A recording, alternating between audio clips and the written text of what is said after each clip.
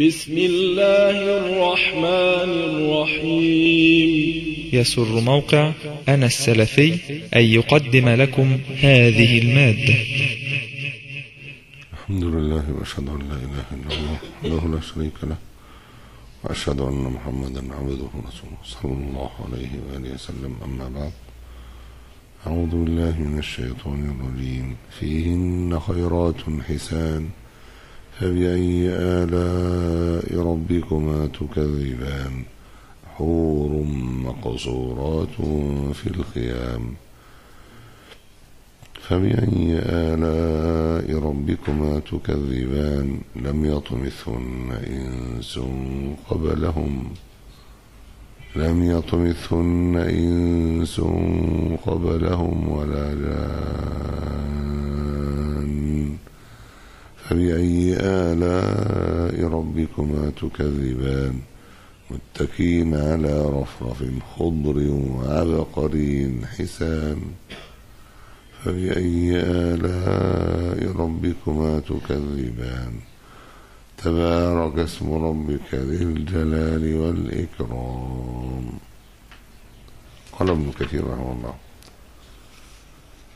يقول ثم قال فيهن خيرات حسان. قيل المراد خيرات كثيرة حسنة في الجنة.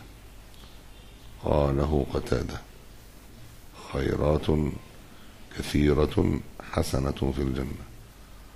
وقيل خيرات جمع خيرة وهي المرأة الصالحة الحسنة الخلق الحسنة الخلق الحسنة الوجه. قاله الجمهور. لأنه فسرها بعدها بقوله حور مقصورات في الخيام. وروي مرفوعا عن أم سلمة.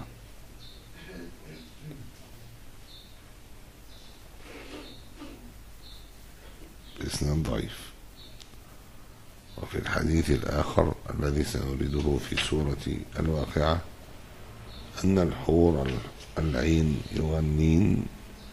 نحن الخيرات الحسان.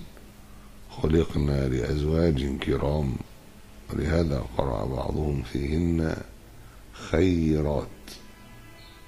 خيرات حسان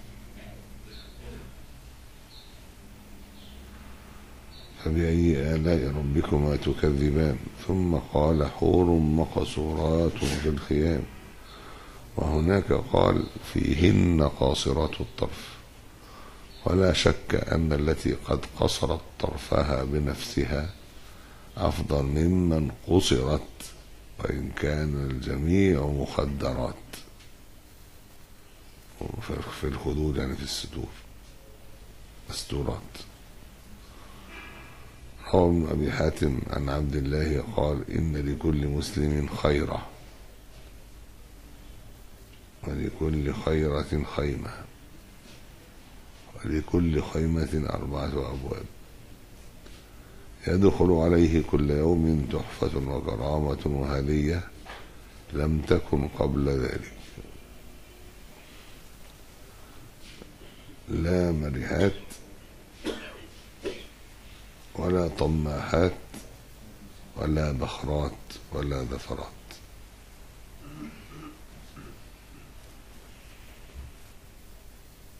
حور عين كأنهن بيض مكنون.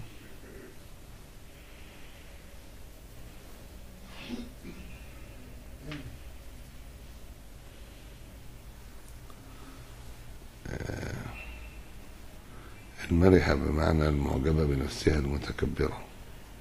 طماحة التي كثيرة الطلبات. البخرات البخرة البخر سوء رائحة النفس. ذفرات بسوء رائحة الجسم. وقوله في الخيام قال البخاري عن أبي بكر بن عبد الله بن قيس عن أبيه أن رسول الله صلى الله عليه وسلم قال إن في الجنة خيمة من لؤلؤة مجوفة.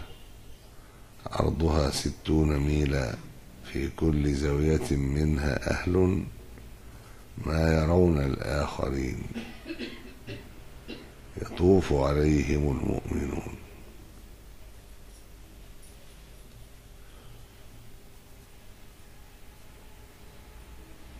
الحديث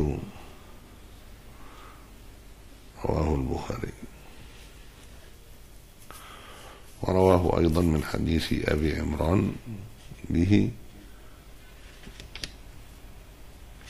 أبي عمران الجولي بالإسناد عن أبي بكر بن عبد الله بن قيس عن أبيه وقال ثلاثون ميلا عرضها ثلاثون ميلا. أخرجه مسلم بلفظ إن للمؤمن في الجنة لخيمة من لؤلؤة واحدة مجوفة.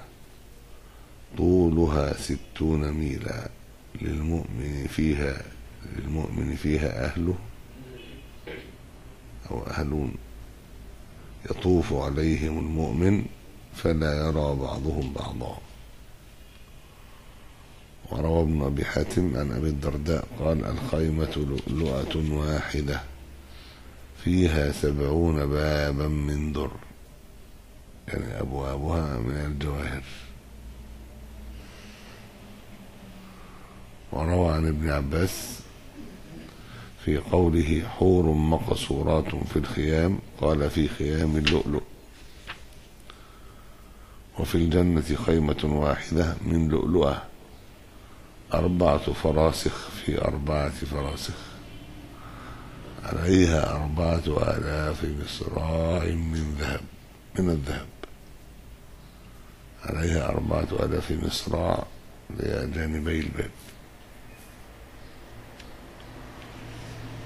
من الذهب وقال عبد الله بن وهب سنده عن أبي سعيد عن النبي صلى الله عليه وسلم قال أدنى أهل الجنة منزلة الذي له ثمانون ألف خادم واثنتان وسبعون زوجة من. وتنصب له قبة من لؤلؤ وزبرجد وياقوت كما بين الجابية وصنعاء سنده ضعيف. رواه الترمذي. وقوله لم يطمثهن إنس قبلهم ولا جان تقدم مثله سواء إلا أنه زاد في وصف الأوائل بقوله كأنهن الياقوت والمرجان فبأي آلاء ربكما تكذبان. فدل ذلك على فضل الجنتين الأوليين قولوا قولي هذا وأستغفر الله لكم